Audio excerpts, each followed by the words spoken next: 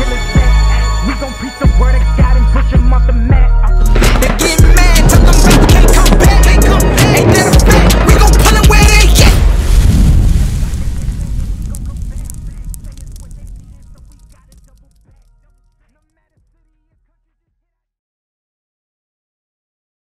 Angel, look, Listen. you can't tell me what I'm You're not. not an archangel, bro. What is you? Because an archangel. Are you an archangel? No, I'm not an All archangel. right, then. Well, yeah, I'm an Israelite. I'm a, I'm your I brother. understand. I'm your- Right, Hey, we gotta fight this flesh together. Right. You on this earth battling sin. Right. Which we trying to tell you. You talk Hey, about. a whole bunch listen, of listen, things we gotta Joseph. Joseph, we talk about you want to how we gonna get changed. The change start with you first. Right. The change start with you first. We can't change a nation I've if you don't want to change. Hey, look, if you see me out here, I, So- done, I done seen. So, I ba- done hold on, changed whole Joseph. Joseph. lines from hey, Joseph, this is what you're doing. You talking too much, right? No, I'm not talking Yeah, yeah, y'all. talking too much. I much. hear what y'all saying. You talking too I much. hear what Listen, you saying. according to the Bible, you supposed to be getting You drunk. think I'm scared? I neither one of us No, got to be scared yeah, of each other. This ain't about being scared or not. We talk about what the Bible say, because that's the only thing that's going to help our people. say. Right. Well, I know the revelation Listen, than li- anybody. listen, listen. According to the Bible, are we supposed to be getting drunk? Really?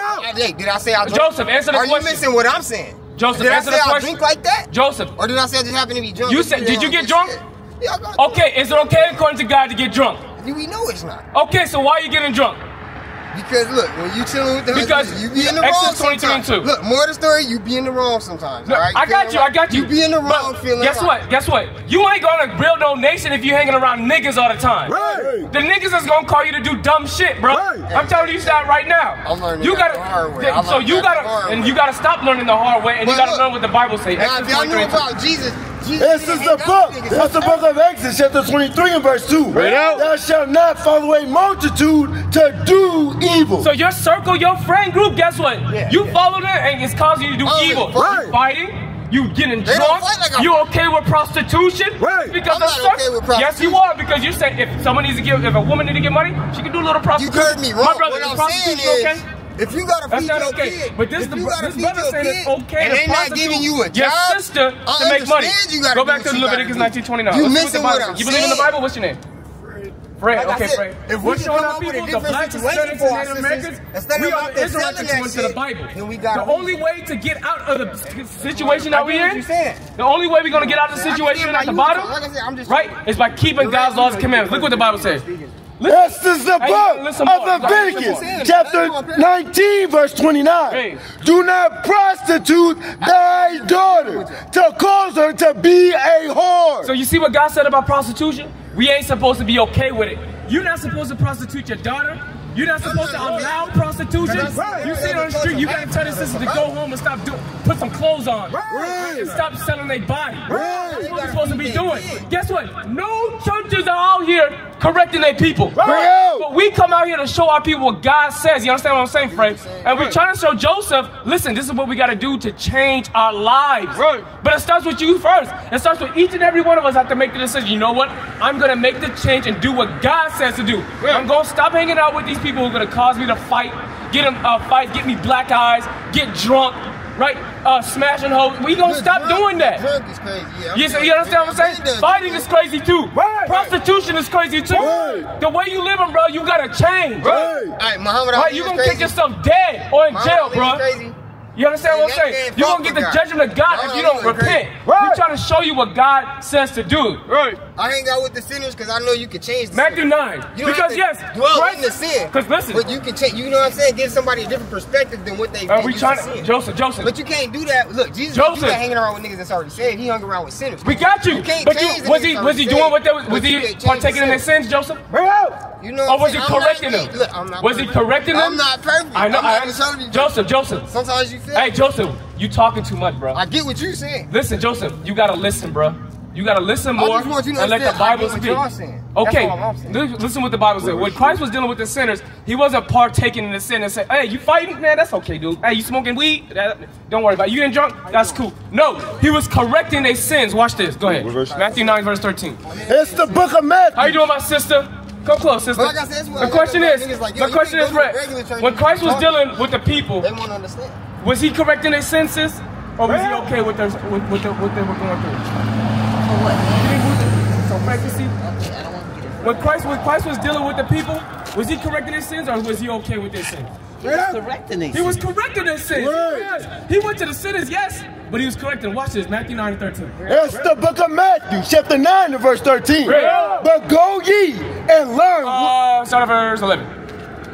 verse 11. Versus. And when the Pharisees saw it, Uh-huh. they said unto his disciples, Why eat your master with publicans and sinners? Uh-huh. So the scribes and Pharisees, they were opposition to Christ. They didn't like Christ coming on the scene. Right? Christ was disrespect, disrupting the way there was uh, the, the flow of the scribes and the Pharisees. And so he was getting upset. He's like, hey man, why is Christ hanging out with the publicans and the, and the sinners? Why is he doing that, right? He's going to explain. Read. But when Jesus heard that, he said unto them, They that be whole need a need not a physician. My question to you all. If you're not sick, are you going to go to the doctors? No.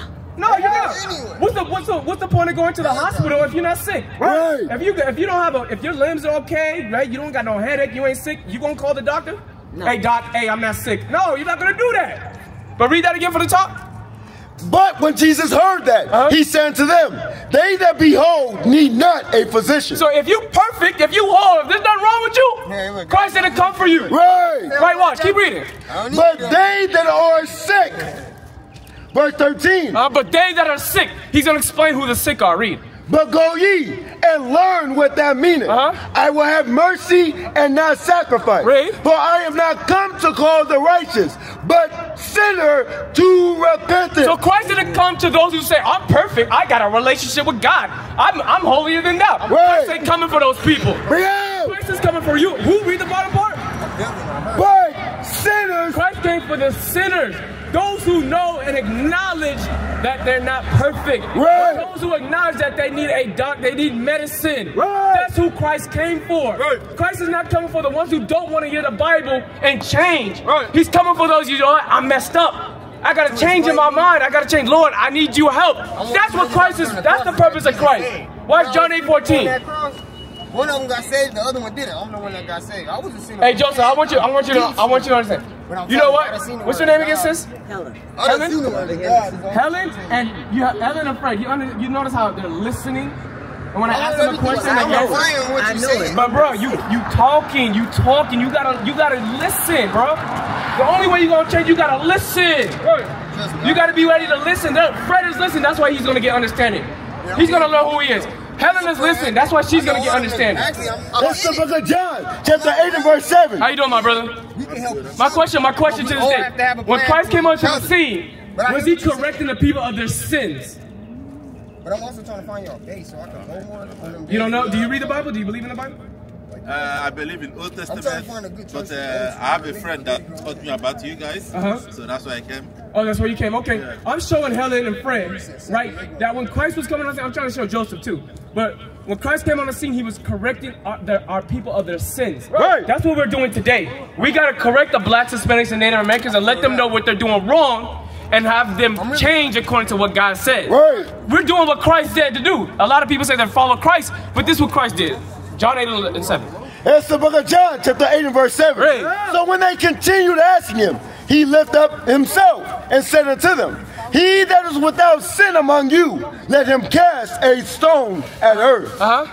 And again, he stooped down and wrote on the ground. Right. And so this is to speed it up, right? A woman was caught in the midst of adultery, right? Back then, if you got committed adultery, what would happen? You would get what? Stoned. It was a rap. It was a rap. So guess what? The Pharisees they caught this woman in adultery. Wait, hold on.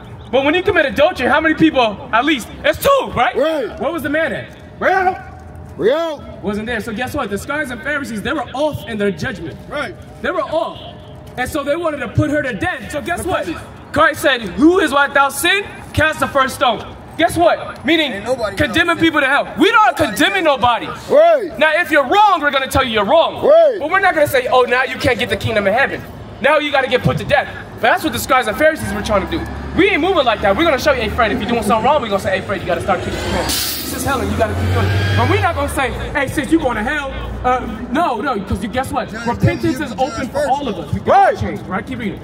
Verse 9. And they which heard it, being convicted in their own conscience, Uh-huh. went out one by one, Right. beginning at the eldest, Uh-huh. even unto the last. Uh, now And- jump to verse 11. Verse 11. Uh-huh. And she said, No man, Lord. Uh-huh. And Jesus said unto her, Neither do I commend thee I mean, Condemn, so condemn. neither do I condemn thee.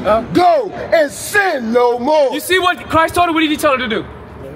Don't sin no more. Meaning stop breaking God's laws and commandments. That's right, all right. we're doing. That's all we're doing and telling our people. Listen, we gotta stop breaking God's commandments. Right. That's it. So if you're getting drunk, you gotta stop getting drunk. Right. If you're prostitu- uh, in the midst of prostitution, okay with it?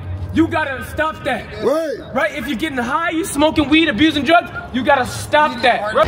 What is a nation? Nation is family. Nation is community. Nation is men leading by example. Nation is women's support. Nation is children with role models.